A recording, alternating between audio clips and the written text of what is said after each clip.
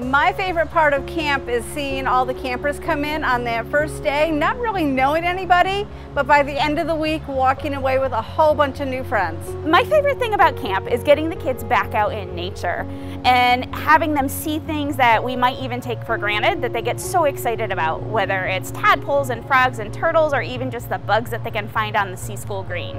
I'm really excited that camps are happening this year because a lot of the time we see returning kids come from previous years and it's fun to see how much they've grown and learned uh, over the past year without seeing you. Summer camp is very important for kids to be able to explore the outdoors in a setting that is totally different from either in the school or with their parents